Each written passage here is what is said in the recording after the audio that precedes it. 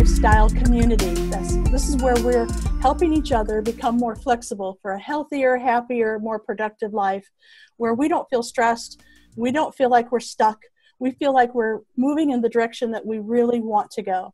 And sometimes that takes planning, and sometimes life just happens. So that's what this show is all about. It's about helping us all do this together as a community. So I want to welcome our guest today, a good friend of mine, Cesar Rincon. He's from Houston, and even though we're in separate rooms in different places, we are both of us are in Houston. Hi, Cesar. Hey, Marion. How how are you? Great. Thank you for having me on the show. Oh my goodness, I am thrilled to have you. Are you kidding? Um, I've had you as speakers, different events that we've done, and interviews, and every time you're just so I, I almost want to say flexible, but I won't. You're just so accommodating and kind. That's one of the reasons why I love you so much. Your kindness really shines through. Well, thank you very much. You know, it's it's one of those things that um, inherently I, I I'm just a very giving person. Sometimes I wish I wasn't as much because sometimes you know you end up doing more things for others than you do for yourself. But in general, I'm a big believer that the more you give, the more you gain and I don't give to gain. I just give because I that's just the kind of that's how I'm wired. Um, but then of course in, in return, you know, I've been very blessed with many, many people who helped me along the way as well. So well, we're always thrilled to have you. So thank you. Whatever way we can get you. uh, most of the time when I'm interviewing or asking Cesar to come into our community, it's because he's a sales expert and people love to learn more about how to make better sales without being salesy without you know without tricking people all this stuff that that you know the typical salesman uh, bad rep you know right. Um, and Cesar has really good tips and really good information on how to share your information so that people want to buy it, but you're not trying to sell them. Right. Yeah, well, you know, my career in sales, I've uh, been in sales now for uh, going on 15 years and it it wasn't uh, it wasn't I wasn't always successful in sales. You know, I figured out very quickly that sales was a profession, just like any other uh, profession, like being an architect, being a uh, an attorney or a doctor or anything like that. That you needed proper training, and I was very blessed. I won't go into all the details, but I was very blessed to get on a per se on a fast track and really on a binge of personal development and and and, and gaining knowledge that I learned from many mentors like Brian Tracy, Tom Hopkins, Anthony Robbins, all the major uh, sales and motivational uh, trainers. And, and here, here was the most important thing I applied what I learned.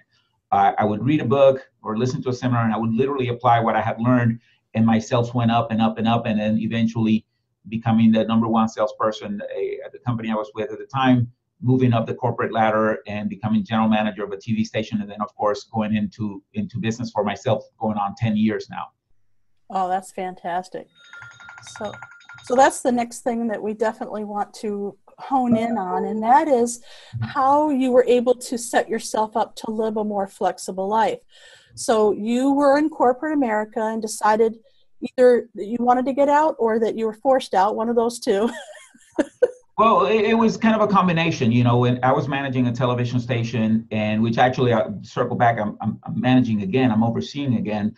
Um, but at the time in 2009, when the economy was very tough, it, it was just uh, by mutual agreement that the best thing was for me to step aside, let the company be a little bit more profitable, hit the number they needed to hit, and then I went into business for myself. And quite frankly, it wasn't it wasn't really thought out. It wasn't planned out. I worked uh, out of my home for the first year. Then I grew to several employees in an office space and the lease and you know utilities and bills and payroll and all those kind of things. And then um, after a few years of that, I decided to start downsizing because at the end of the day, the reason why I went into business for myself, I could have, you know, with, with a couple of phone calls or text messages, gotten another uh, corporate job um, the reason why I went into business for myself was because I wanted a little bit more freedom, and and I had found myself cornered into that treadmill where you know making payroll and and you know and then you blink and two weeks have gone by and you've got payroll again, and you got payroll again and payroll again, and it just never ends.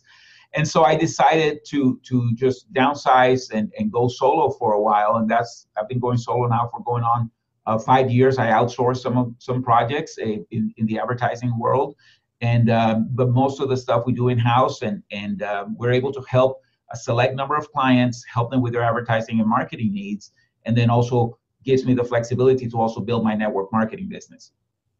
Excellent. That's wonderful.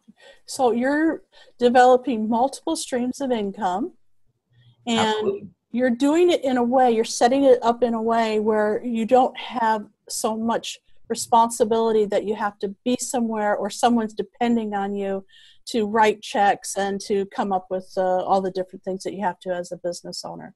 Yes, you know, uh, going into business for yourself is is ideal, right? But at the end of the day, most people who start a business end up owning a job and and they find themselves they paint themselves into a corner where they're you know like i said making payroll and they hire a few people and then they got to train them and then they leave and then you know it, it's very hard to start and grow a business. I have tremendous respect for people who start and grow a business and sustain it for for for a, for a number of years especially if they're actually making money. Because that's the other thing. When people go into business for themselves they think yeah i'm going to be my own boss.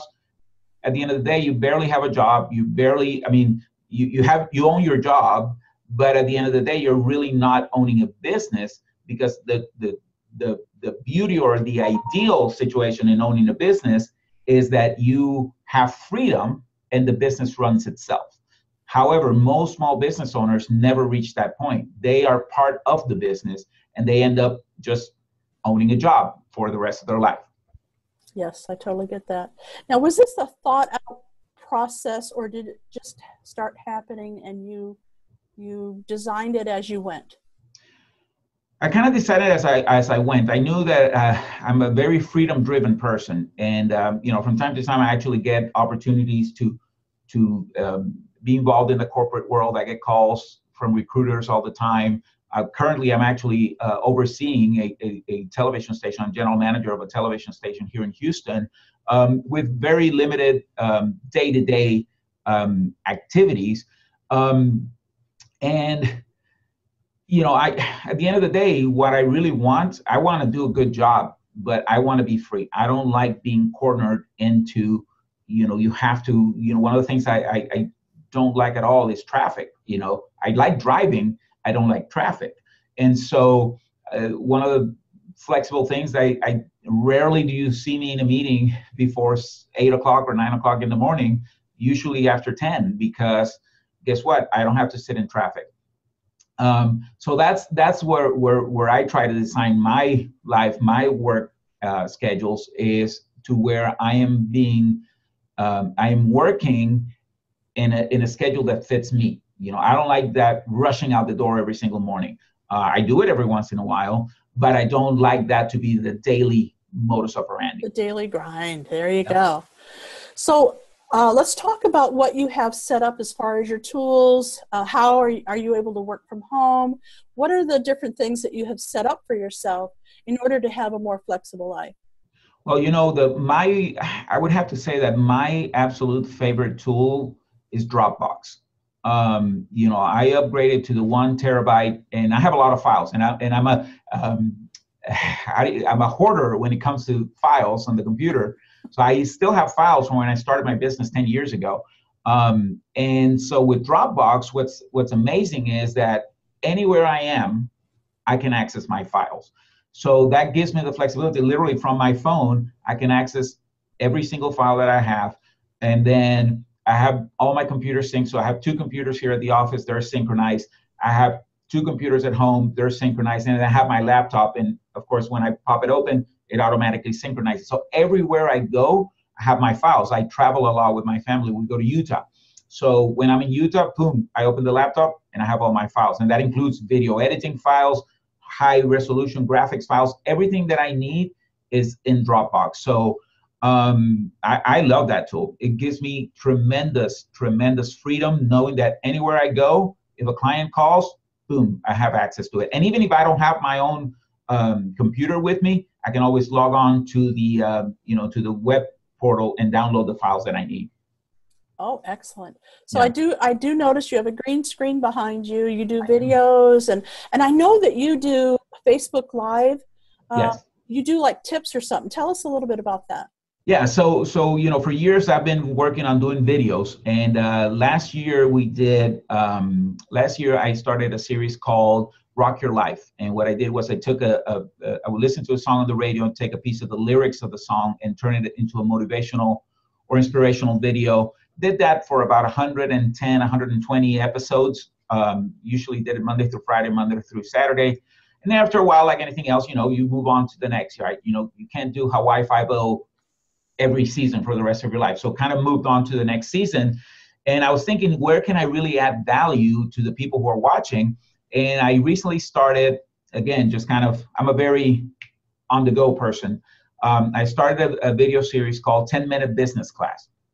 And what I'm going to be doing in this series is in, in 10 minutes or less, cover a topic. It'll be sales driven, marketing driven, um, sharing ideas that I've come up with, but then also sharing some of the knowledge that I've learned from people like Brian Tracy, Jay Abraham, and many other uh, great business minds, and sharing that information. And hopefully, those those those little short classes can help people, you know, kind of start thinking about, oh wow, I haven't thought about this, Oh wow, that's a great way to do it, and it'll add value to them. But then it also, from a business perspective, I'm, I am including a call to action for a free consultation if somebody wants to consult with me and give them a 30 minute free consultation.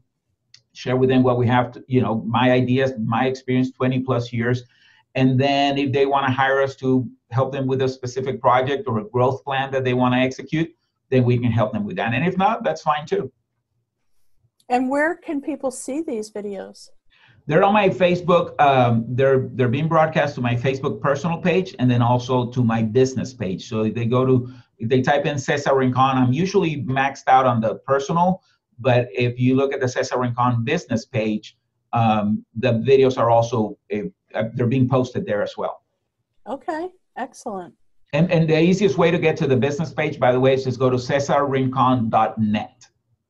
I'm going to have your information down below. Um, okay so that everyone can see not only your videos but also get in contact with you because you never know they just might want to talk to you. Thank you. No one of the things that i thought was really interesting was um, a friend of mine told me how much money you were saving her when it comes to uh oh, do you have a call coming in? No, just a reminder for just our meeting. oh, next meeting. Yep. Um, so you were saving her money on her electricity and her phone bill, I believe, and her internet or something. Yes. And so I thought that was interesting. And that's your multi level marketing that you were talking about. Correct. So I believe everybody should have multiple streams of income. Everybody does. I mean, right. even if you're the CEO of Coca Cola, they have investments, they have other business right. ventures. Um, so every single person, if you're employed, you must have an alternative source of income. And if you own your own business, you also want to have multiple streams of income. Um, so a few years ago, I got started uh, in a network marketing business, multi-level marketing, uh, with a company that markets essential services. And what attracted me to the concept, there's some great companies out there that offer travel, they offer um, they offer you know lotions, potions, vitamins, shakes, all kinds of great products. But typically, those products are an additional purchase to your monthly budget. And when I found out that I could get paid when people pay an essential bill, a bill that they're going to pay anyway, and all we have to do is redirect them from provider A to provider B, which is us, same quality, same service, same everything. In fact, in many cases, some of the same brands that you already know, um, and we get a percentage of that. I said, you know, this makes sense because I'm not asking people to purchase something that they don't, they may not want or need or can't afford they have to pay their electric bill, they have to pay their cell phone bill, their internet bill. So we, through an online store, we help people, you know, choose our products, which, like I said, in many cases, it's same brands. It's AT&T, Dish Network, you know, same major brands, except you're buying it through us. We get a percentage. We get a royalty income out of that, and, and you know what, building that. Money. Yeah, exactly, and, and you you get better deals, exactly. Right. And, and and and the reason why I'm building this is because in any business, doesn't matter what business is, there's always ebbs and flows, right? Mm-hmm. Um, for many reasons. And this additional income stream allows us to consistently have a, a another check that's coming consistently. And then of course through leverage, through multi-level marketing, we're building a massive team. We're about to expand internationally into Colombia and many other countries in Latin America. So we're just super excited about that. And at the end of the day, like I said, it's freedom driven, right? So we can do this business anywhere. Um, so thank you for coming on and and sharing with us a little bit about how you're creating a more flexible life for you and your family. We really appreciate you, and I hope to see you again very soon. Yes, thank you, Marian. Anytime, just give me a call. Okay. Bye, everybody. All right. Bye bye.